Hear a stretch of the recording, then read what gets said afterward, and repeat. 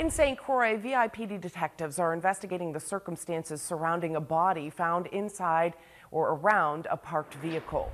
Around 8 o'clock Tuesday night, detectives discovered a vehicle parked on the side of the road in Mount Welcome, which is east of Sharkey's bait stand. The vehicle was owned by a person who was reported missing.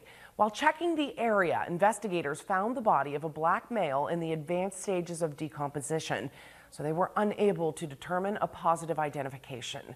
It's not clear yet if foul play is at all suspected. The cause of death is under investigation pending an autopsy.